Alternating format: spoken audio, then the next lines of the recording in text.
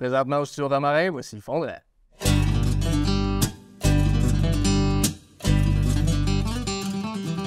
Salut tout le monde, aujourd'hui pour l'épisode, euh, on va jaser d'un sujet qui nous touche les trois ici, qui est la relève avec l'école. Puis pour cet épisode-ci, pour la première fois, on va recevoir des invités, fait que on est bien contents. Ça va bien les gars? Ça va bien, toi? Ça va bien, merci. Euh, on part tout ça tout de suite avec la bière du jour, Dan? On peut bien, on peut Ouais. bien. Euh, Aujourd'hui, on boit de la bière de la brasserie de Donald. On a euh, trois beaux choix. On va sûrement commencer par la saison bleue, une, euh, une blonde, une ale blonde euh, sûre. C'est elle? Ouais, au bleuet. Après ça, on va avoir la, la rosée de Funk, qui est une euh, grisette avec un 4,5% d'alcool. Puis on va finir avec la Barretta, qui, est- qui est une rousse euh, Special Beater avec euh, 6% de- d'alcool. Parfait. Une belle, euh, c'est une belle petite microbrasserie qui est partie en 2011. Euh, elle est adjacente à un pub qui, qui, qui leur appartient avec euh, de la bonne bouffe, euh, une belle terrasse avec des, des beaux spectacles occasionnellement. Puis euh, ils font des belles visites guidées aussi de leur, de leur installation. Fait que une belle place, plein de points de vente au Québec que tu peux trouver leur rivière. C'est une belle place. Une belle place. Encore une fois. Euh, j'ai- vu qu'on pouvait dormir là. Ouais, ouais, ben dans le fond, c'est dans une grosse immeuble, puis en haut, il, il, il offre euh, le- l'hébergement. Ouais, c'est ça. Tu peux, louer, euh, tu peux louer des chambres en haut. Parce que sur le site, c'est ça, j'avais vu l'onglet euh, passer une nuit à la dormir à la brasserie, je pense. Ouais, c'est ça. C'est- C'est c'est- c'est- c'est- c'est direct en haut dans le même bâtiment. Ouais, fait que tu te torches bien comme fois à bas, mais après ça, tu vas te toucher à haut. Il reste dans le blanc, ça. Donc, ouais, tu le prévois d'avance. Ouais. Fait que tu nous ouvres ça, mon John? Ouais, on commence par laquelle? Euh, c'est l'eau bleue. Oui, bonne main. Ça, ça doit être au bleuet, celle-là. J'espère. Oh, c'est Oh, c'est beau. Ah, ben ouais, dangereux, je te dis. fait 3 4 ans. Champagne? Surtout. Ben non, c'est la bière, c'est pas du champagne. On va goûter à ça. Ça monte On peut goûter le bleuet euh, pas mal. Elle sent mieux, mais elle goûte. Ouais. Moi, je trouve pas qu'elle goûte. Non? Ouais, un petit goût. Ben oui, ben oui. Ouais, ouais, mais je pensais que ça. Mais elle goûte la bière. Ça goûte pas le, le, le petit blizzard au bleuet, là. Enfin, c'est ça. Alors, hein. Non, c'est bon, t'as. Ça, c'est mon style, ça, me laisse tu irais de même, lui, ouais, les Fait que passez une belle fin de semaine, les gars. Ouais, une très belle fin de semaine. Ouais, on est allé, moi, Dan, Martin, euh, aller voir Thomas Sweat euh, sans toi. Ouais, j'ai un code prime déjà. Non, mais c'était un bon show pour elle. Je sais pas si c'est. Ouais, vous avez Martin, il aimait ça pas mal. Il y avait, il y avait, euh, ouais, il y avait euh, Jordan Davis en première partie, puis Cameron Mar- Mar- Marlowe qui, qui jouait. Puis Cameron, euh, je le connaissais pas, mais c'était un, un, bon, un bon show. Là. Ouais, il a donné un bon Ouais. Ouais, c'était bon. J'ai bien aimé ça. Jordan Davis aussi. Ouais, c'est ça, les trois, ils ont donné un excellent spectacle. Ah, pas mieux. On a fait notre petite boîte euh, pour les pétitions de la montagne. Ouais, facile. Et ici. Si le monde euh, vous voulez participer, là, nous autres, c'est fait.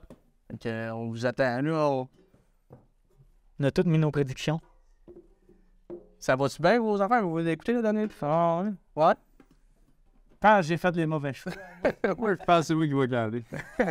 Ça clarifie mes choix pour vrai. Ouais? Ouais. Ah, Je pense que je vais être pire. Oui, il y en a qui veillent d'abord, là. Fait que. Ben, qui veillent de, de ce que je pensais, là. Mais, euh, je. Whoop, whoop, whoop, whoop, whoop. Ouais. Ouais. Ah, on va voir la fin de la saison. Ouais. Pour vous aussi, il est content de participer au concours si vous voulez euh, gagner euh, des, des produits à l'effigie de Fondran. Fait que euh, gênez-vous pas. On va, euh, on va tout vous comptabiliser puis on va tirer ça à la fin de la saison comme que nous autres, on va.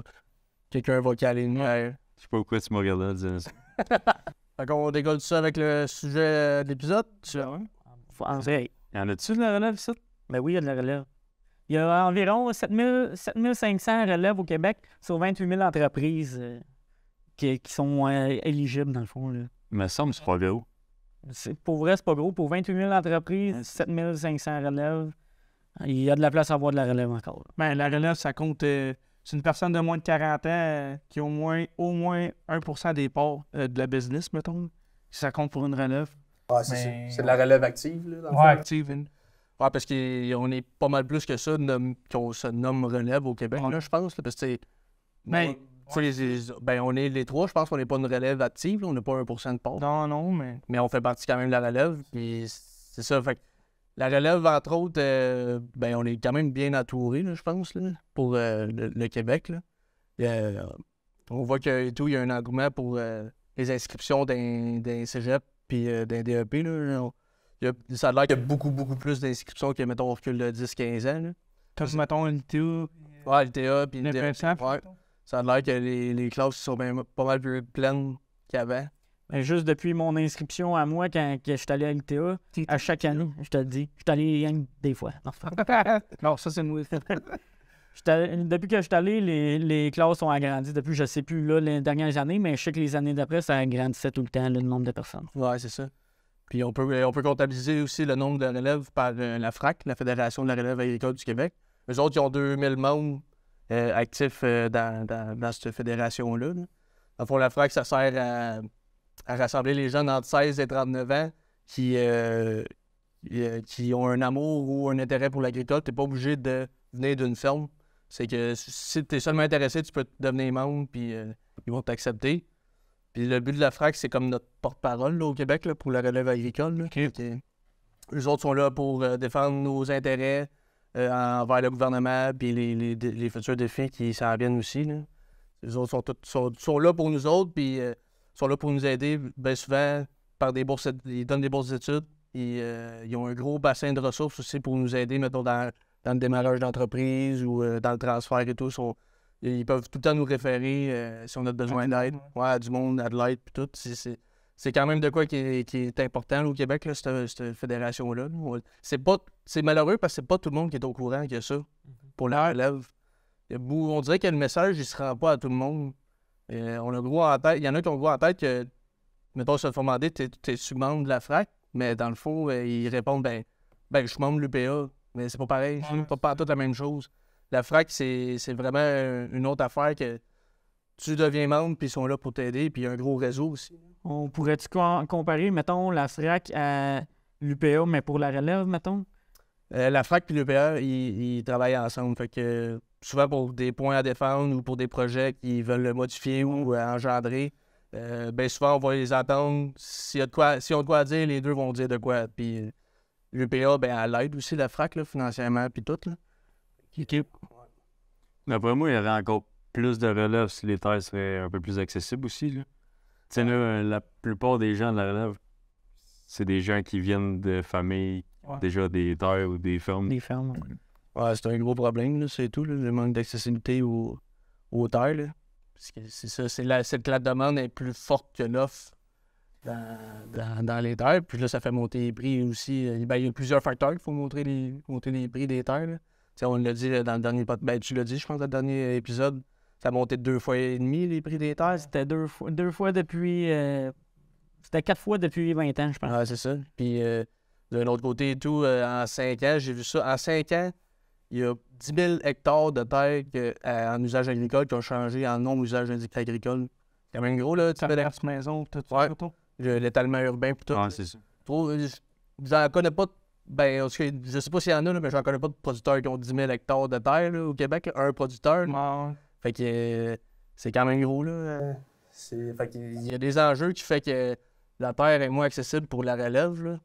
Mais, Puis la non-relève aussi. ah, c'est ça, la, no- la- la- ouais. Ben, la non-relève, je excuse, la non... euh, Non apparenté. Non, c'est ça. Mettons, tu viens pas de la ferme, tu viens pas de la, de la terre, mettons, un peu. Euh, C'est un peu le but, euh, c'est un peu le but de la FRAC, c'est pour aider aussi ce monde-là, là, qui n'ont pas un lien direct avec euh, une parenté. qui Non une ferme. ferme. Ouais, c'est ça. Puis, euh, bien souvent, quand tu es une relève non apparentée ou tu as envie de te lancer dans l'agriculture, ben la FRAC va te référer à l'artère. C'est un autre, euh, un, un autre organisme qui te sert à, à t'accompagner. Ben, il accompagne, dans le fond, les, les aspirants agriculteurs et les propriétaires qui, sont, qui ont un, Qui n'ont pas de relève. qui n'ont pas de relève ou qui veulent aussi être- devenir copropriétaires, mettons, ils ont envie d'a- d'accueillir une autre personne. OK? C'est pas nécessairement juste de, qui ont envie de vendre. Fait que euh, c'est intéressant. Là. Les autres, ils, ils accompagnent de A à Z. Ils prennent ton profil, ils, ils te font une entrevue, ils apprennent à te connaître, puis tout, puis ils essaient de t'agencer avec un producteur qui veut vendre ou qui veut euh, être copropriétaire. Que les deux fit ensemble. Puis ça s'en vient- ça s'en va plus par là aussi. Ouais, Être euh, copropriétaire, non vendre la ferme au complet. ouais. Plus facile. Mais, Ben, c'est facile pour les deux camps. Ouais, c'est ça. Il y en a un qui veut travailler moins, mais il y en a un qui veut avoir de quoi à lui. Ouais, Ouais. Ça l'aide un peu aussi, sûrement. Ça fait un- Ça fait un transfert, un transfert plus euh, graduel aussi. C'est moins dur pour le gars qui vend des tarps, c'est moins dur pour le gars qui les achète. C'est ça, c'est c'est intéressant, puis je pense que c'est des, c'est des ressources qu'on n'est pas tout le temps au courant. C'est c'est ça, l'affaire, ils vont t'aider, puis ils vont t'aider à, à aller chercher du financement, puis à, à te monter un projet solide pour aller chercher du financement, parce que ça, c'est un autre gros problème et tout, euh, d'aller chercher du financement, parce que c'est des terres, vu que les terres valent cher, puis que c'est ben, souvent un revenu bas que tu fais en un an, On passe dans la table. c'est ouais, quasiment pas rentable, c'est dur de justifier à une banque. Euh, Ouais, ouais, ouais. euh, Je te le dis, dans 20 ans, il faut en faire de la C'est ça, fait que c'est, des- c'est le, c'est le gros enjeu de, pour la relève agricole. Fait que quand, que- quand tu vois, quand on voit qu'on peut se faire aider, euh, d'après moi, on est mieux de tout prendre les ressources qu'il y a Ben oui. Pour se rendre jusqu'au bout, là, que surtout quand tu as des objectifs. là. Ouais. Surtout que tu pars, tu sais, tu connais rien un peu, ou tu savais un petit peu, mais tout ce qui est, mettons, tout ce qui se passe dans la ferme, on- moi, genre, je connais pas mal ça, mais tout ce qui est papier, euh, Ouais. caisse, tout ça, j'ai jamais touché à ça. Ça peut faire peur des fois aussi. Là. Aussi, Ça c'est des, des- des gros chiffres, là. on pense que c'est des petits chiffres, mais moi, je suis là-dedans un peu dans le transfert d'entreprise, là, puis c'est des gros chiffres. Ouais, c'est ça. Puis des, des affaires, des fois, que tu n'as pas pensé qu'il faut faire non plus. Ouais. C'est de l'expérience qu'on n'a pas que, que nos parents ou que les mentors là-dedans dans leur taille ont aussi. Ouais. C'est ça. Non, c'est intéressant. En tout cas, nous autres, dans le rang, il n'y en a même pas de la relève. Hein? Il y en a en masse, l'eau est bonne. Dans la relève, on est-tu prêt à recevoir nos deux invités? Mais ouais. Je pense que ouais. Ouais. On reçoit nos deux premiers invités du podcast, euh, nouvellement actionnaires d'une entreprise en production laitière en même temps que devenir papa. Vu que leurs mots fatigue ne leur font pas peur, euh, ils rajoutent un projet d'agrandissement pour combler le tout. Euh, voici euh, Maxime et Alexandre Roy. Très bon. C'est très bon. First shot. Donnez-vous euh, une petite gorgée, les gars. Ouais. Une fois que vous avez le choix. Salut les gars. Salut. Salut. Bien? Ça va très bien, toi? Merci. Question? Ah, hey, salut, bon. Merci de, de, de- d'être nos premiers invités puis d'avoir accepté euh, notre invitation. Ça fait plaisir, ça fait plaisir. J'ai tout écouté votre podcast. Moi, j'ai Ouais? Les deux premiers dans le fond, toi? Tout. Moi, j'ai vraiment aimé les deux premiers épisodes. Ah, tu m'as pas Avez-vous participé au concours? Pas encore, pas encore. Pas encore, mais moi, je mets vraiment un 2 sur euh, Dan puis Martin. Ouais? Ouais. Euh, comme Brad a dit, hein? Ouais. Euh, pour commencer, euh, vous aimeriez ça que chacun votre tour vous présenter puis décrivez un peu ce que vous faites euh, sur votre entreprise. là. Alex, tu veux commencer? OK. Ben, Alexandre Roy, j'ai 30 ans. Un enfant, un deuxième en route. Yes. Je suis co-actionnaire de la ferme Royaulet, Euh, une entreprise principalement laitière avec de la grande culture. Je m'occupe du volet champ, surtout. Puis, je, ben, je suis dans l'état tous les jours. Euh, Maxime Roy, cousin d'Alexandre. Oui. Moi, mes tâches principales, c'est surtout euh, gestion du troupeau et euh, tout ce qui est comptabilité, paperasse. euh, super le fun et long à faire. Ça, c'est moi. ça. Ça, c'est toi. Les deux, vous tirez les vaches. Oui, soir et matin. Soirée, matin, encore attaché. Ouais. Encore attaché, pourquoi vous dites encore attaché? Ben, parce que, tu sais, dans l'introduction là, que Alexandre Brodeur fait, ouais, ben, on, ben, il dit agrandissement en vue. On va mettre des robots, se ménager euh, nos dos. euh, nos dos? Dos, ouais. Nos dos. nos genoux, puis notre dos. Ouais, ouais. Ah, Ouais, c'est ça, nos dos. C'est Vous mettez des robots, des, des robots de, de traite. de traite ou une Ouais. salle de traite, robot de traite? Robot de traite, c'est une machine. Ah ouais. va- Ouais, c'est un système de trait dans le fond que la vache se déplace pour aller se faire traire. OK. Versus présentement, la vache est attachée. Elle a de la bouffe devant elle, la nourriture devant elle, puis quand elle a faim, elle mange, quand elle a soif, elle boit. Mais tout le temps attachée à la même place. À la fois, tu vas changer ça pour euh, qui? Avoir des super traite tout ça, là, euh, plus, euh, plus par, par elle-même, dans le fond? Elle décide par elle-même quand est-ce qu'elle va se faire traire, quand est-ce qu'elle va manger, manger. quand est-ce qu'elle va, quand est-ce qu'elle va boire, elle est plus libre. Mais ils sont pas, pas qu'ils sont pas qu'on sont bien. Non, ça rien. Je rien. Sauf que C'est mieux. c'est mieux. Il y a aussi un côté de gestion qui tombe plus facile. C'est facile au niveau de la gestion. Changer des vaches de, de place quand elle est libre, c'est beaucoup plus facile quand tu es tout seul que quand ils sont attachés. Il faut que tu sois normalement à deux pour les déplacer. Tu sais, on voulait pas comme nécessairement augmenter la main-d'œuvre. Fait que euh, l'autre solution, ben, c'est l'automatisation. Fait que euh, Puis là, vous êtes combien à travailler sur la ferme, mettons? Vous êtes juste vous deux ou vous avez des employés? Vous avez-tu... Ah, les employés. Tu sais, euh, il y a une bonne partie, en fait, de notre journée qui s'en va juste à travers les vaches, comme c'est là. Fait que euh, par jour, on a quoi? 5-6 heures par rapport à traite. Tout ce qui est traite, travail tout autour. Fait que, tu sais, ça coupe déjà quand même beaucoup dans la journée. Puis nos horaires, comme c'est là, sont vraiment pas très flexibles. La robotisation amène ce côté-là que de flexibilité, là.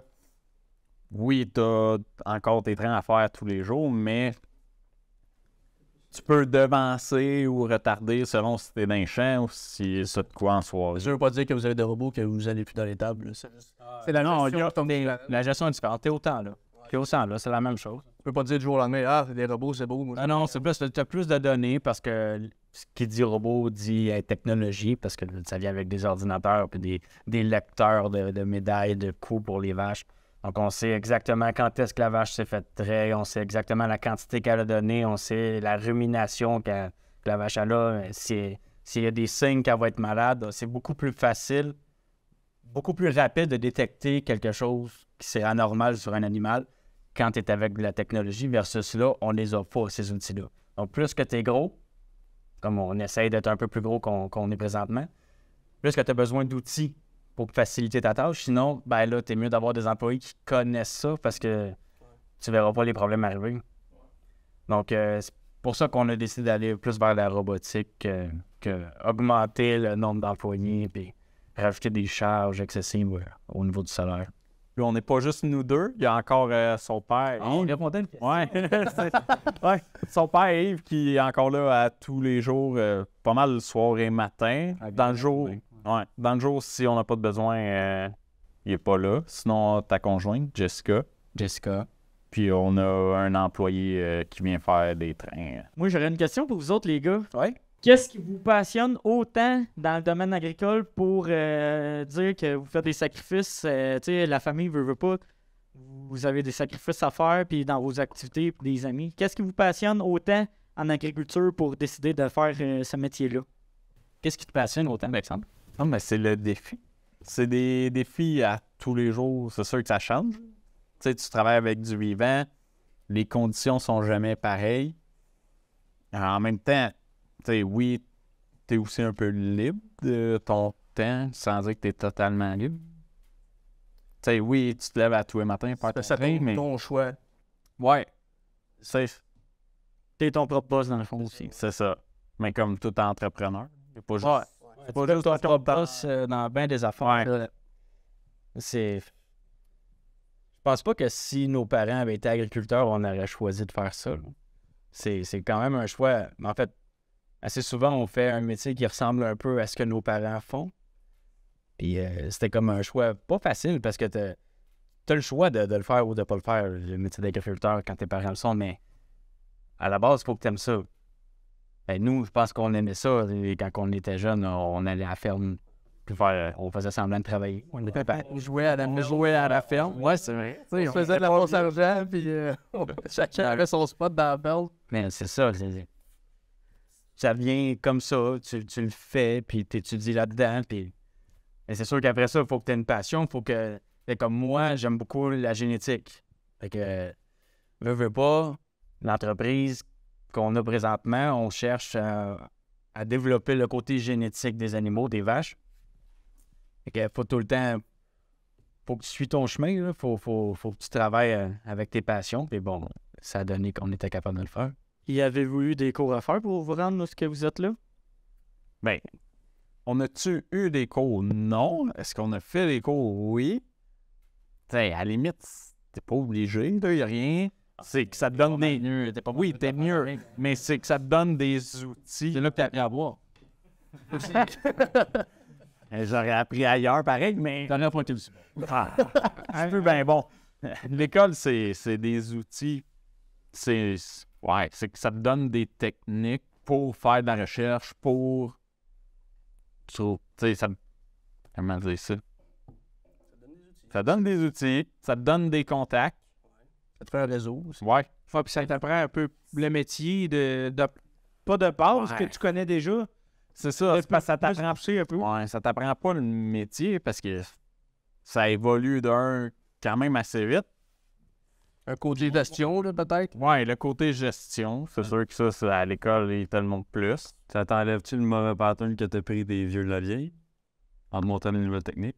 Peu importe là, que t'as été à l'école ou pas, là, tu sais, si dès que t'es intéressé, dès que t'es curieux, tu vas vouloir avancer. Fait que c'est sûr que euh, t'arrives euh, dans un milieu que les gens fait 20 ans qui font ça d'une façon.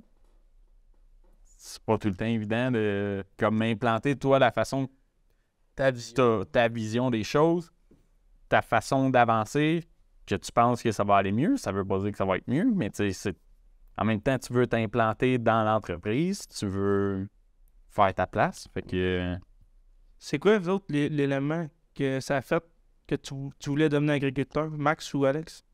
Max, commence donc avec Max. L'élément que, Ouais, que je voulais. Que tu voulais devenir agriculteur? Je sais pas. Ça va? Je sais pas. Si en travaillant avec ton père un peu ça fait. Ben, j'ai j'ai toujours travaillé sur la ferme, mais j'ai fait d'autres choses. hein. Tu j'ai- J'avais j'avais 10, 11 ans, j'avais des lapins, puis je voulais avoir un clapier, je voulais faire de l'élevage de lapins. Non, mais en voulant dire, euh, t'as-tu essayé d'autres choses, mettons, euh, tu mettons, t'as-tu été sa- travaillé sur la construction ou... Non, mais j'ai. Comment t'as dit? Comment t'as dit, Alex? psychologie au cégep, là. C'est pas bon, hein? non, mais non, mais pour vrai, ben. Ça commence jeune, tu sais. euh, je voulais avoir des lapins. Bon, l'agriculture, le lapin, bon, il n'y a rien à faire. ben oui, franchement. Puis après ça, ben, j'ai délaissé ça. euh, J'étais allé euh, au cégep. Euh, eu J'ai eu des chèvres. Mais j'étais allé au cégep en- dans les études. J'étais allé au cégep en sciences humaines, profil individu, parce que je voulais être psychologue. Mauvaise idée, fait que j'aimais ça. Je le savais pas, ça. C'est- Ouais, ouais. Attends un an. Lâché ça après. Rentré à l'ITA. Je peux pas dire que c'est l'ITA qui m'a euh, qui m'a fait savoir que c'est ça que j'allais faire de toute ma vie, mais c'est la force des choses. hein. Comme je l'ai dit tantôt, on fait souvent un métier qui ressemble à celui de nos parents, puis c'était juste la suite des choses logiques. Puis à force de travailler là-dedans, ben, tu développes la passion. À la base, il faut que tu aimes ça. Bon, Il n'y a pas personne qui va t'offrir là-dedans si- s'il n'aime pas ça. ben, c'est une passion plus que d'autres choses, parce que tu feras pas, tu fais pas, une- N'importe quel beaucoup d'argent, mettons, au début, Ben, j'aime. dans tout. Ouais, c'est tu- ça. T'en fais si tu. T'as des grosses valeurs, mais t'as pas, tu fais pas d'argent. C'est. Ouais, mais des valeurs, tu peux rien faire avec des valeurs. Ben, ben, Dans, dans... agricole, agricole, il faut 9 piastres pour faire une pièce, à peu près. Entre 7 et 9 piastres pour faire une pièce. De valeur. Et c'est long, là. Tu, deviens pas riche avec ça. Ouais, mais essaie de dire ça à une banque. Ils vont avoir de la misère, tu sais. Ben, ben, c'est pour ça qu'il faut tes parents, parce que quand tu reprends la relève, faut... ça facilite les... Ça facilite pas mal les choses quand tu reprends la relève de tes parents ou ton père ou ton oncle qui veut Ouais, c'est ça. il veut laisser des valeurs dans l'entreprise parce que sinon, il n'aura pas de transfert. C'est fini. Ça va être racheté par un plus gros que ton voisin qui, lui, euh, il est des poulets depuis 100 ans parce que les poulets, c'est. Dis pas de nom, dis pas de nom. Va dire, j'ai rien dit, mais. mais si, si les parents sont pas là en arrière à laisser des valeurs, oublie ça. C'est, c'est plate de même, mais tu vas, tu vas gâcher une génération. Mettons, je me dépasse. Je, je, je, je démarre mon entreprise agricole. J'achète pas une terre, c'est impossible. C'est pas à 23 24 000 pièces de l'autre qu'à Montérégie que je vais acheter une terre. Ça, c'est si je suis chanceux. Alors ça, j'ai pas acheté ma machinerie. Je suis pas, pas parti en affaires. là. Fait que... euh, Loin de là. non, c'est pour ça que c'est important de. Ben, c'est important. C'est à dire parce qu'on est quand même privilégié. On vient d'une famille agricole, mais quelqu'un qui aime ça, qui veut se démarrer, qui veut être propriétaire, euh, il, il va mettre toute sa vie, puis il est mieux d'avoir un enfant qui veut ça parce que sinon, ça va donner. En tout cas, moi, qui ça soit sa passion, puis qui tripe à, à jamais avoir été en vacances pendant 50 ans. Mais c'est. c'est- Toi, Alex, c'est quoi l'élé- l'élément? On revient. Et c'est ça, tu sais, on peut pas dire que c'est une chose qui fait que. C'est, ça reste une suite de choses. hein. Tu sais, depuis, depuis toujours, là, on n'a pas ça. J'ai pas. J'ai dormi en arrière. euh, dans le temps, il y avait de la place dans la cabine de tracteur. Dormi en arrière là, du banc là. Hey, un gars qui a dit ça dans un podcast. Oh, non. Ah ouais! Mais tu sais, c'est ça. Ça pas Fait que, euh, ouais. C'est ça. alors, on avait le même. On a le même père. Ouais, c'est ça. Fait que, euh, rien deux dans ce tracteur. Tu sais, ça? ben, euh, des fois, on était trois. en arrière. Ben oui. Avec Marie. Ouais, ouais, dans le Fiat, il y avait bien de la place. hein. Il y avait un petit frigidaire en haut à droite. faisait de la magie, notre père. Ouais. euh, les 7-Up puis les 4000. Ouais, des caramels. des Mars. Mais, euh, ouais, fait que je pense pas que c'est un élément en particulier. C'est une suite de choses. Après ça, euh, tu t'as de l'intérêt, t'aimes ça. Moi, de mon côté, il y a quand même. euh, pas, pas le fruit du hasard. Je veux dire, vu que notre père n'était pas dans l'entreprise, moi, je suis considéré euh, comme relève non apparenté. Fait que. même si, c'est la ferme de mes oncles, vu que c'est pas en ligne directe, c'est euh, c'est ça. Je relève non apparenté. Puis, euh, ils ont voulu me faire de la place dans l'entreprise. Fait que- mais, tu sais, si euh, ils n'auraient pas voulu, dire, je pas, j'avais pas, euh, je pouvais pas même m'attendre un bras de quelqu'un, tu sais, ça, ça change rien, là. Puis, euh, on a grandi ensemble, moi puis Maxime, là. on a une couple de mois de différence. Fait que, euh, c'est ça. Cool. Ouais. Ouais, Dan, toi, tu viens pas d'une ferme? Ben, comme Max a dit, moi, je peux pas m'acheter une terre puis commencer en agriculture, ça c'est certain, là, mais Ben, tu sais, ça, on le voit présentement, la seule façon qu'il y en a qui le font, c'est des petits maraîchers intensifs, parce que ça prend des petits lots de terre que tu es capable d'aller chercher un certain revenu, mais tu travailles. c'est- il s'en viendra aussi, les petits lots de terre. Ouais. Ouais. Ouais. Tu seras pas dans le net, tu seras pas dans, tu seras pas dans un milieu contingenté ou ça, ou dans la volaille. Dans, dans la volaille, ben n'importe, c'est pas, en tout cas, va pas ouais, plus rapide, c'est pas, euh, c'est pas intéressant, mais tu sais, puis même les, tu sais, même les fédérations, ça reste qu'ils ont des concours de démarrage, mais ben souvent, c'est que ça te prend une job à temps plein à l'extérieur pour réussir à, comme sont mal subvenir. Ouais. Tu recules, puis là, 30 ans, donne un droit de produire, mais il te faut, faut un actif. Là. Il faut, faut que tu construis. Euh, mettons, euh, tu as le droit d'avoir des poulets, non, mais il te faut un poulailler. Faut-tu construire ton poulailler pour que tu achètes euh, une place? Il faut quand même quelque chose. Il faut quand même qu'il y ait quelqu'un en arrière de toi qui t'aide parce que tu ne démarres pas avec euh, ton 30 000 pièces que tu as mis de côté euh, à 20 ans. C'est c'est- c'est- pas compliqué. C'est ça. C'est démarrer, c'est ça qui est plate un peu parce que tu sais, pour la relève, c'est ça qui. Parce qu'il y a beaucoup de relèves, là. On voit un engouement, là, comme on le disait tantôt, euh, dans les écoles, il y a pas mal plus de monde. Puis ça veut pas dire qu'ils ont un accès direct à une entreprise, comme on dit. C'est ça qui est dommage. Je sais pas comment, un moment donné, le gouvernement ou euh, la FRAC ou l'Ar- tu sais, puis l'Artère, comme euh, on disait tantôt, nous autres, on jasait de ça, euh, à, à quel point ils vont être capables de- d'aider cette relève-là à s'implanter? Et comment? Je pense que c'est impossible. Comment tu veux. Ben, comme Alex disait, un qui va donner de l'argent? Qui qui va, qui qui va dire, bon, toi, Jean-Sébastien, toi, je vais t'aider à... à- à- moi, je vais, je vais te donner voilà un million. Qui qui va faire ça? Il y a personne qui va faire ça. Moi, ça, Ouais, ça serait... Ça serait gentil. Tu serais un bon cousin. Ah, ouais. Euh, votre changement vers les robots, ça a-tu plu à vos. Votre, ben, ton père et ton oncle, mettons, ou il était-tu pour aller vers ce côté-là? Il voulait? Bon, je pense qu'on a eu quand même, euh, au niveau de la décision, on a eu quand même... euh, ils nous ont laissé aller. C'est c'est un jugement de, de, de- de mission là, là-dedans. Dans le fond, nous autres, bon, on manque d'employés, mais on n'en créera pas. Donc, ils l'ont accepté. Non, je pense pas que ça n'a pas été un enjeu. Ils l'ont pas... En même temps, c'est, c'est notre projet. Tu sais, eux, ils ont fait leur projet. Ils sont encore quand même actifs, mais ils sont encore propriétaires. Sauf qu'ils ont fait le- leur projet dans leur jeunesse. Fait que là, c'est rendu comme. C'est notre tour à faire notre projet. Ils savent qu'ils n'auront pas d'argent, mais oui. En fait, ça, Mais c'est le fun de savoir qu'ils l'ont bien pris parce que ça peut arriver des fois, tu sais, des, des bonhommes qui veulent jamais décrocher puis que ils, qu'on parlait tantôt, qui, qui décroche, qui, qui, qui vous lègue l'entreprise, mais qui est tout le temps assis dans l'étape. Ben, c'est pas, c'est pas de même qu'on fait ça, c'est pas de même qu'on fait ça. Puis euh, c'est des. Pourquoi vous changez une recette gagnante? Ouais. Ben souvent, il y en a. C'est payant, là, pourquoi vous changez? Ça marche? Ouais. Il y en a qui passent de même et tout. Mais c'est des changements de vision. hein. C'est d'une génération à l'autre, on n'a pas la même vision, on n'a pas la même mission, on n'a pas les mêmes valeurs. Mais c'est important qu'on se rattache ensemble puis qu'on on définisse ces trois points-là puis qu'on soit capable d'avancer ensemble. Mais c'est sûr qu'il y en a qui sont pas d'accord. Mais a- tu l'as dit au début, là, plus, tu, si tu veux plus avoir de genoux, plus de, de dos, euh, Ah, mais maintenant, t'as plus de... C'est ça, eux autres pourraient dire, nous autres, on l'a fait, euh, Ouais, ouais, mais 50 ans, ouais, ouais, mais. Ouais, mais. Il n'avait pas 100, il n'avait pas. euh, on continue de grossir, tu sais, il n'a- il n'avait pas 150, il n'avait pas 200, tu sais, puis.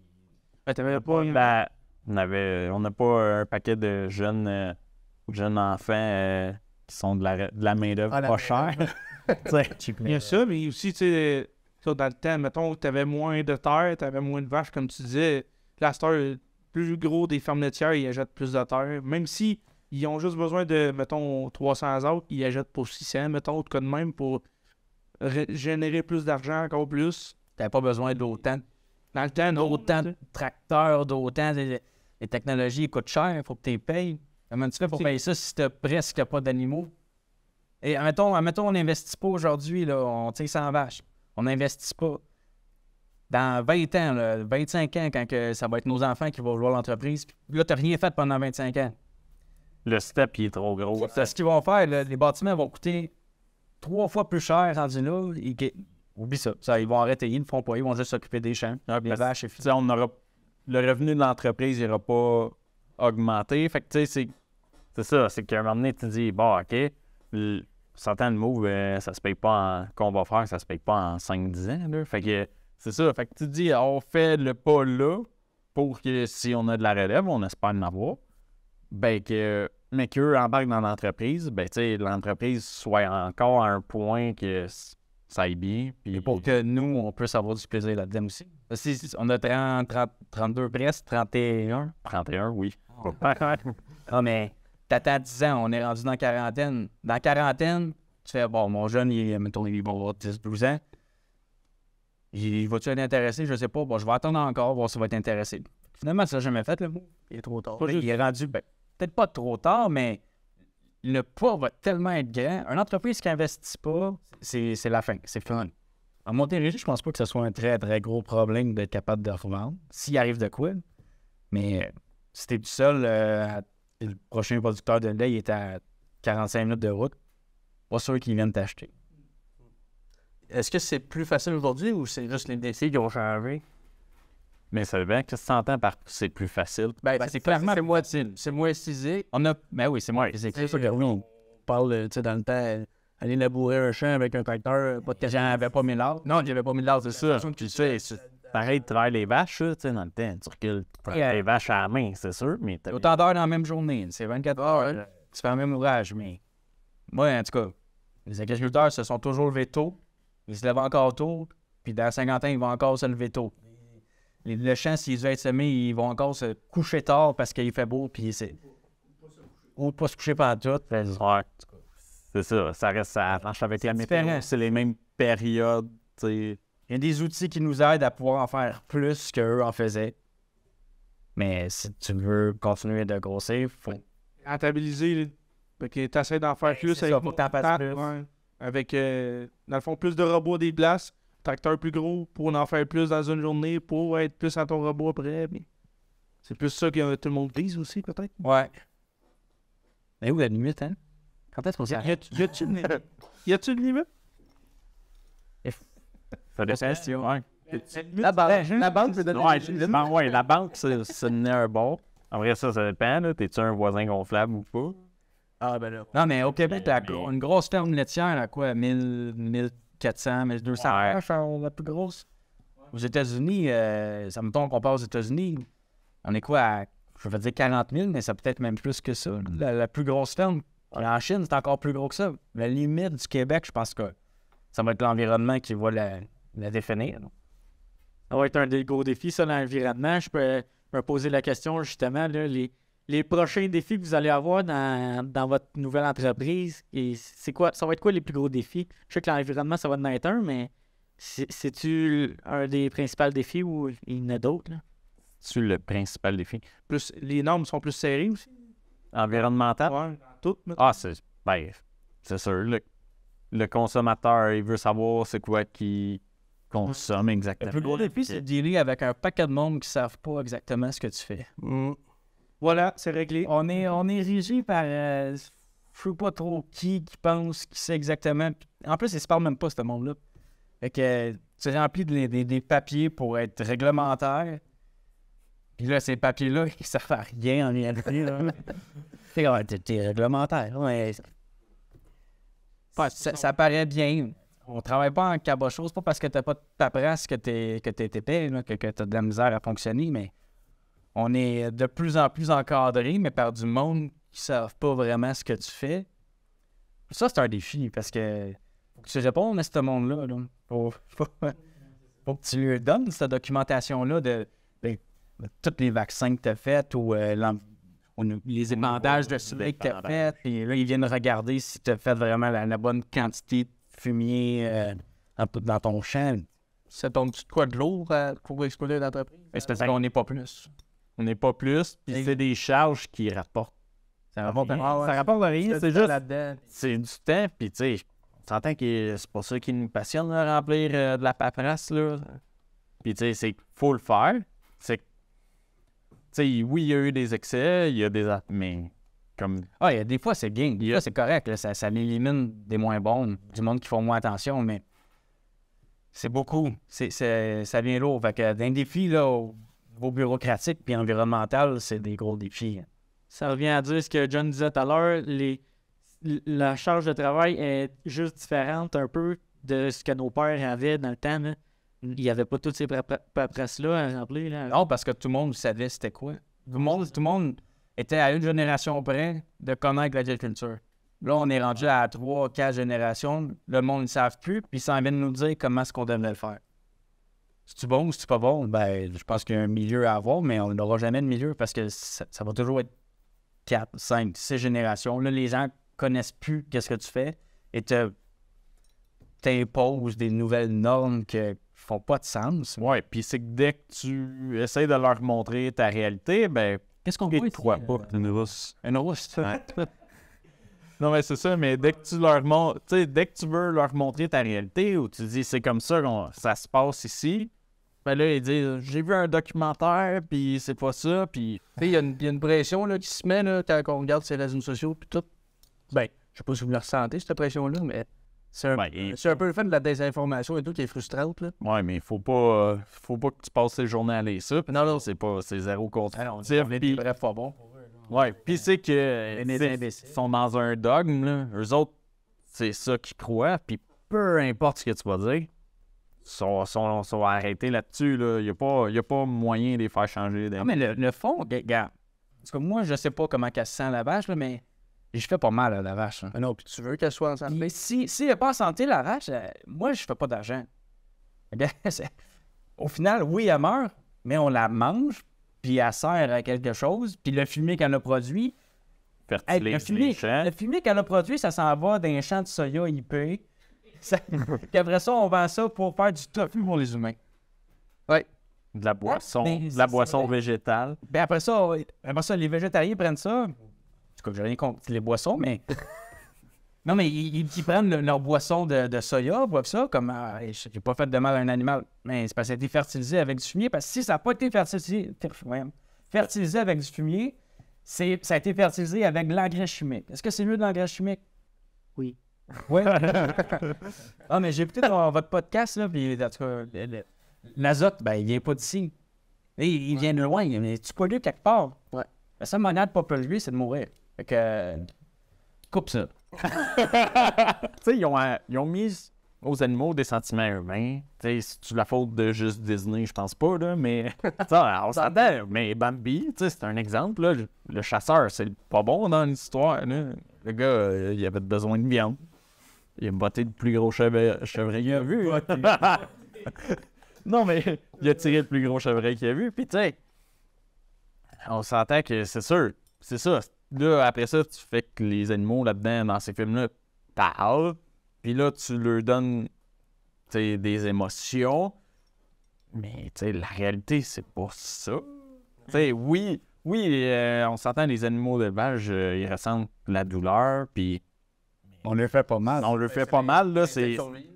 Oui, puis tu sais, c'est zéro dans nos intérêts que nos, nos vaches, ils soient. Ah, tu te lèves pas le mal sur elle, je la chope à matin. Elle, là, non, elle, je vais y faire mal. Ouais. Non, non. Elle fait tout pour pas qu'on on, on les écorne pour pas qu'ils se fassent mal entre eux. On leur fait des sabots pour qu'il y ait une bonne locomotion, pour qu'il y ait une bonne, bonne santé globale des pattes. On- on, on regarde leur santé. Le vétérinaire vient aux deux, trois ou quatre semaines, peu importe euh, comment, comment on fonctionne ces fermes, mais il vient faire un- une évaluation globale des animaux pour voir si tout, est que, tout le monde est en santé. Le vétérinaire, il arrive plus vite que si tu t'en vas à l'urgence. Euh, On appelle la clinique, ça prend une demi-heure, c'est sûr, il y a un vet qui est là. Toi, tu vas à l'urgence. Combien de temps? Mais la vision un peu de votre entreprise aussi, de futur. On parle de vision, tantôt des objectifs, tout ça. C'est quoi votre vision à long terme de, de votre entreprise? C'est pas, c'est une entreprise familiale.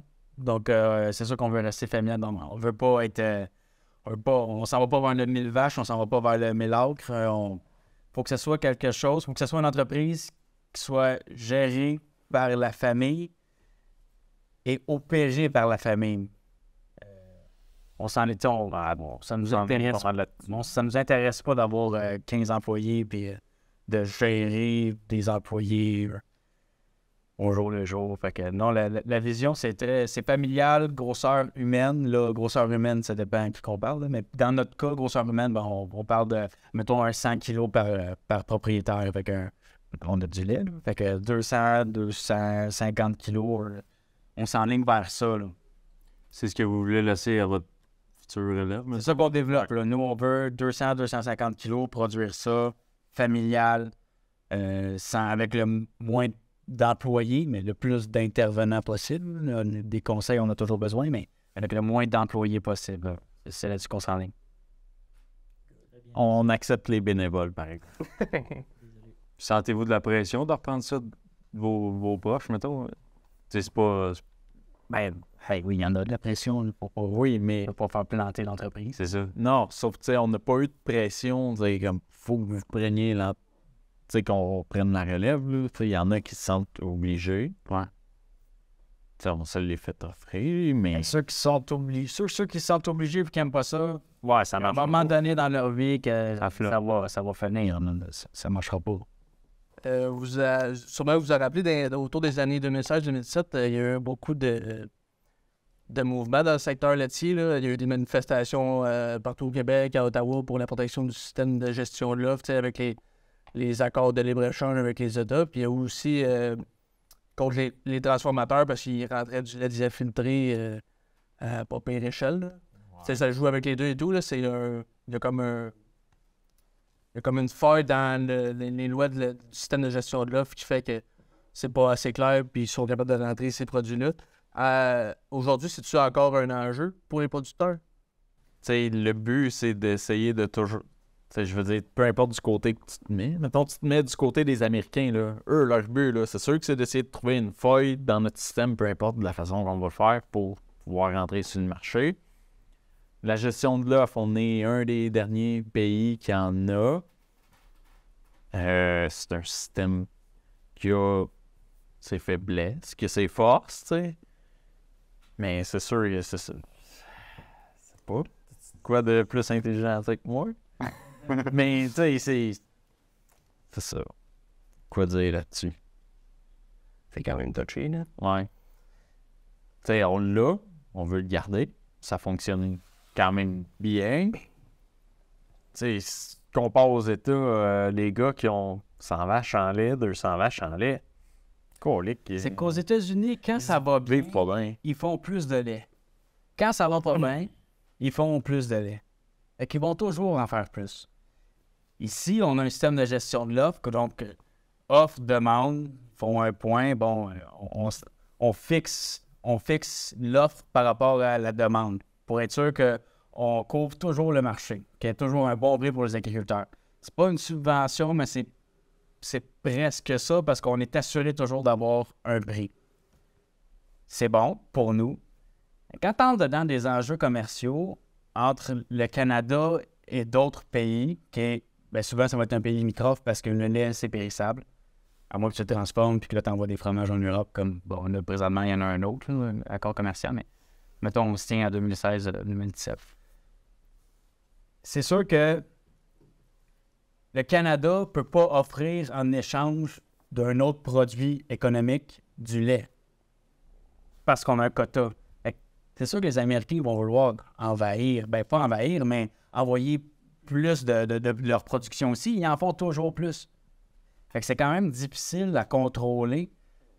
Parce que le Canada aussi a quelque chose à vendre. On a du bois d'œuvre à vendre. On a, on a, on a des, des produits d'aluminium, on a- on a bien des affaires à vendre. Puis le, le- côté agricole au Canada, il, est- il est bon, mais c'est pas le pas le secteur le plus fort. Fait que on va toujours être perdant. Je pense aussi que compétitionner les marchés internationaux avec toutes nos lois environnementales, c'est sûr qu'on a de plus qu'eux. C'est sûr que. c'est plus dur. Mais il faut pas avoir peur. Moi, j'ai- pas peur de la Chine parce que c'est loin. J'ai bien plus peur du Mexique que des États-Unis parce que c'est proche. Mais euh, C'est-tu viable, le système, encore? Dans le futur, mettons, il va-tu être encore viable? Ben, moi, j'ai. ben, en tout cas, je suis pas. étudié en économie. Puis à l'uni- à l'Université de Montréal, on avait posé la question à un des professeurs si lui croyait au système de gestion de l'offre, que ce soit dans volaille ou du lait. Puis peu importe à quel professeur qu'on pouvait poser la question, il n'y en a pas un qui croyait à long terme. Bon, justement parce que tu as, des échanges commerciaux à faire avec d'autres pays. C'est un jeu de qui qui cède, qui qui gagne. C'est un échange, oui. C'est toujours ça. Donc, c'est sûr que si tu protèges une production, il faut que tu sois prêt à perdre ailleurs. Mais si tu protèges une production qui est moins payante pour un pays ou moins importante pour un pays que un autre, euh, mettons le bois, parce que le bois au Canada, il en produit beaucoup. Bon. Au final, c'est lequel tu vas protéger plus? Le nez ou le bois? C'est compliqué. Euh, c'est bon pour nous qu'ils le gardent.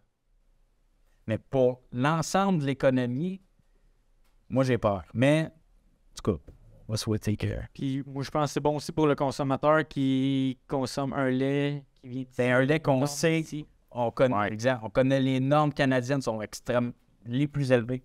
C'est pas les mêmes normes de qualité. Au niveau de l'environnement, c'est pas pareil. Là. C'est qu'on l'a vu, tu te souviens, on avait visité des fermes au Vermont. Là, on n'aimera pas de nom, mais. Puis pourtant, le Vermont, tu sais, on s'entend que c'est l'État que quand tu penses aux États, tu dis c'est lequel l'État qui fait le plus euh, attention à l'environnement? T'as le Vermont, la Californie qui te met en tête. Puis qu'on l'est. Où est-ce qu'on s'en bientôt? hein? Ouais, mais présentement, non. fait que, fait que c'est ça. Fait que, tu sais, ça te vient en tête que le Vermont, c'est vert. Puis, tu sais, c'est vrai, là, qu'ils ont des normes comparées au reste des États-Unis. Puis, on est une coche en avant de ça, là. Ça n'a pas de sens. Fait que, on se rapproche quand même. On n'est pas tout à fait comme l'Europe, là. L'Europe, c'est d'autres normes, c'est autre chose. Mais, euh, tu sais, on- Ben, ils ont des normes touristiques. ouais, c'est ça. différent. C'est différent là-dessus, mais tu sais, en normes, en termes de normes sur l'environnement puis de qualité, tu sais, ça on est super, su- pas super hot, mais je veux dire, on est très élevé, là. Fait que, c'est ça. Fait que, tu sais, on peut pas se comparer aux États-Unis là-dessus parce que on a beau être collé, c'est c'est deux mondes complètement différents. Je peux me rappeler, euh, c'est toi qui m'avais conté ça quand t'étais allé en Californie, vous avez visité une ferme bio, mais qui est euh, dans un Picard. Oui, non, mais on avait visité, ouais, l'eau, là. Non, mais on avait la ferme, euh, les fermes euh, laitières en Californie. Il y en avait qui avaient des petites pancartes écrites Happy Cow Farm. Puis on a demandé, euh, parce qu'on a visité plusieurs, puis on a demandé euh, à un producteur que ça prend pour être certifié Happy Cow Farm. Puis il, nous a dit, ben, il faut être en Californie. Je sais pas si les cahiers de charges ont augmenté, mais quand on a visité, c'était ça. Fait que, tu sais, qu'on lit c'est peine de lait, c'est écrit euh, provenant de ferme euh, certifiée Happy Cow. Mais c'était juste une ferme. Mais non, Comme un c'est, autre. ouais, ben, c'est une ferme en Californie. Fait que, tu sais, c'est, du marketing. Mais oui, pour en revenir au bio, si on avait visité euh, une ferme de. Ben, le gars, il avait des. un verger de cerises. Ses taux d'arbres, là, ils étaient propres. Puis on lui a demandé, qu'est-ce que tu fais, tes taux d'arbres, ça n'a pas de sens comment c'est propre. Ben, il dit, je mets du Roundup. Puis il fait de la culture bio. Oui, c'est bio. Parce que le Roundup, il n'est pas ses fruits. Il sert à contrôler la mauvaise herbe qui est autour des plants, mais. Fait que, Je vois que les normes sont différentes d'ici puis euh, ailleurs dans mais c'est ça. Sauf que, tu après ça, là, quand tu te fais dire, un produit bio pour produit bio, on s'entend qu'ici, là, c'est que ça se compare même pas, là. Moi, je crois pas à ça qu'un produit, euh, produit bio qui vient d'un pays qui a de la misère à avoir des normes juste pour ses habitants, pour qu'ils soient bien, que tu dis que c'est un produit bio, là, tu comment tu vas avoir un contrôle là-dessus? C'est impossible. C'est impossible, là, ça vient de même trop loin. Je te disais, c'est le marketing. Ah ben c'est c'est ça. C'est que là, ils amènent les produits ici. ça, puis Il y a la norme bio, mais on sait pas c'est quoi. Puis ils réussissent à vendre ça plus cher, c'est tout. J'avais une question quand même euh, existentielle un peu. C'est. dirais même la question qui tue. Euh, êtes-vous plus, C'est ça, ça appartient à... êtes-vous plus euh, frites ou pilé, les gars? Ah, mon Dieu. C'est dur, ça, comme question. Euh... Ouais, je sais Si vous êtes trop, euh, t'es pas obligé de répondre, là, si c'est trop. Non, mais moi, c'est- je je pense moi j'aime bien la salade de patates. Ah, c'est bon, ça.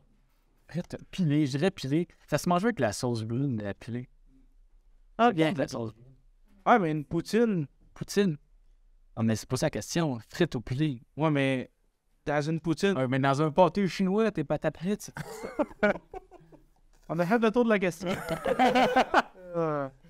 Fait que, merci les gars d'être venus. euh, C'était bien le fun. Ça fait plaisir. Plaisir. Super intéressant. Merci. Bonne chance à vos euh, projets futurs, les boys. Ben, je viendrai faire un tour. Il me donnait euh, un coup de main. Je vous remercie de, du temps que vous avez pris d'être venu nous voir. Je- On sait que vous êtes bien occupés. Fait que merci beaucoup. Fait que là, restez-vous avec nous, les gars. Ben oui. Ben oui, avec plaisir. Et les gars, pour une première entrevue euh, avec des invités, c'était la plaisir. Intéressant, ouais. Oui, c'est en été. Pour eux, ils sont. Très, ouais, vous étiez très bon. J'aime ça qu'on parle comme s'il était pas là. mais- non, il y avait de quoi à dire au moins. Ah ouais? Fait que là, toi, John, as-tu des tunes pour nous autres à nous présenter? Ouais, on y va dans le segment musique. Euh, dans cet épisode-ci, on va, euh, je vais vous présenter un artiste américain puis un groupe québécois. Euh, je vais commencer avec euh, Randall King. Randall, euh, c'est un chanteur, co- euh, compositeur de musique country. Il est né au Texas. Euh, il a sorti son dernier album en 2022 qui est Show Glass. Ce qui est intéressant Show Glass, c'est que par- toutes les chansons de son album, l'histoire se passe dans un bar. Une soirée dans un bar. Fait que chaque tune, c'est la perception d'une personne qui est dans le bar. Ah, ouais. Ouais, c'est quand même cool. là. Si tu écoutes bien les paroles, là, tu vois que c'est genre. Tout se passe la même soirée dans le bar. Puis si vous euh, aussi dans ces chansons, là, si jamais vous trouvez une ressemblance avec John Party, c'est qu'un de ses producteurs, euh, Ryan Gore, qui s'appelle, il a produit et tout pour John Party. Fait que des fois, si vous avez un peu l'oreille, vous allez retrouver un peu de ressemblance dans son dernier album, là, surtout. là. Euh, également, si vous suivez un peu sur TikTok les trends, puis votre algorithme joue dans du, euh, dans du rodéo puis euh, de la danse country, euh, il y a une de ses chansons qui a été un gros trend l'été dernier, euh, the Honky Tonk. Euh, ça l'a quand même fait popper, popper. là. J'aime ça des fois voir avec des artistes que leur tune devient un trend sur Facebook. Puis euh, You in the Honky Tonk était déjà dans le million d'écoutes sur Spotify, mais euh, quand, quand ça a passé sur, sur TikTok, là, il est passé dans la dizaine de millions. Là. On l'a vu tout de suite. Là. Ben, c'est une bonne chanson. là. C'est pas, euh, c'est pas pour rien. Là. C'est plate qu'ils viennent pas au Canada, par exemple. Il vient pas au Canada, mais j'ai peut-être un scoop. Mmh. J'ai jasé avec son agent, puis euh, j'ai dit euh, j'aimerais bien ça qu'il vienne, euh, vienne au Québec prochainement, puis tout. Son agent, il dit on regarde pour 2024. Moi, j'ai accroché à sa musique, j'avais pas bien ben, ben le choix. Il, il fait des références à George, à George Strait dans ses tours, puis moi, étant une maudite groupie de George Strait, ben, j'ai tout de suite accroché. fait que, on va faire écouter Mirror, Mirror, You in the Honky Tonk, puis Hey Cowgirl.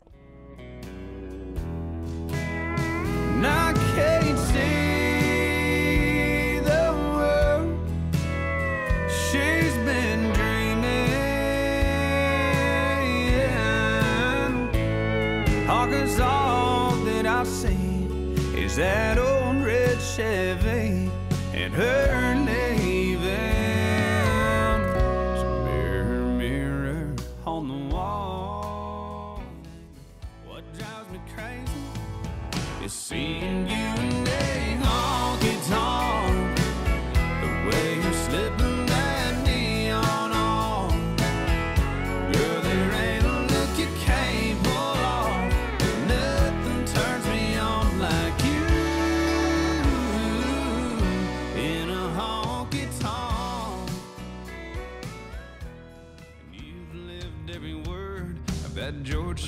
song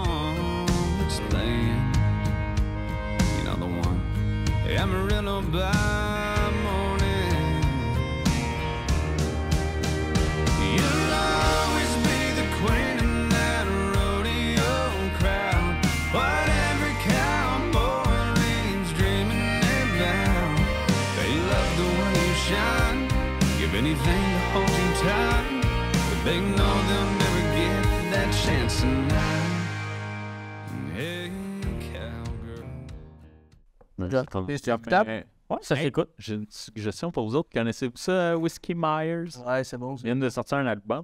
C'est plus country rock, là, pour ceux... euh, Ouais, mais j'ai contacté. Ah ouais? Ouais. Non. Le groupe québécois que je vais vous parler, c'est le Blue Ridge Band. Euh, c'est un groupe euh, composé entre autres de Samuel, Jal- euh, Samuel Jalbert Raymond et de Jérémy Plante. Euh, Jérémy, vous l'avez sûrement déjà entendu, il a, par- ben, il a participé il y a une couple d'années à Mixmania 2. Euh, c'est quand même. Ouais, il était plus jeune. Puis il a participé aussi à Star Academy dans les. Je pense que c'était en 2022 qu'il a participé. Euh, le Blue Ridge, ils ont sorti à, à l'automne dernier euh, un EP de cinq chansons originales, faites par eux-mêmes. Puis euh, ils ont même, un- euh, je pense que c'est en mai qu'ils vont sortir la deuxième partie de l'EP. Je pense que c'est un autre euh, cinq chansons, une couple de chansons. Puis euh, ce qui est le fun pour les avoir vus, euh, Blue Ridge, euh, sont capables de mettre le party dans la place. là.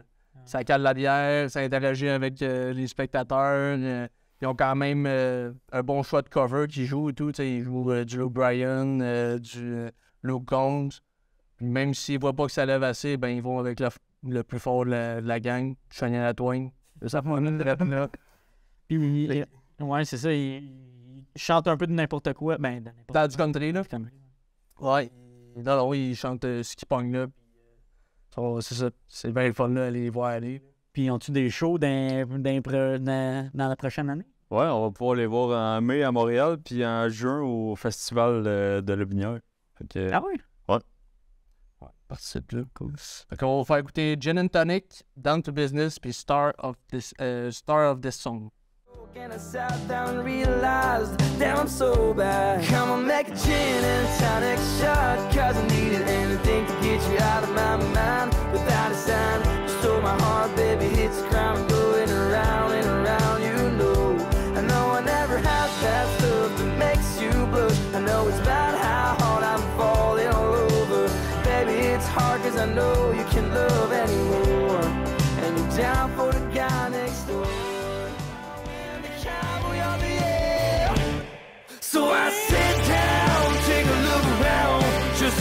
sure her boyfriend's not in town. She released the baby, please get me a drink and let's get down to business.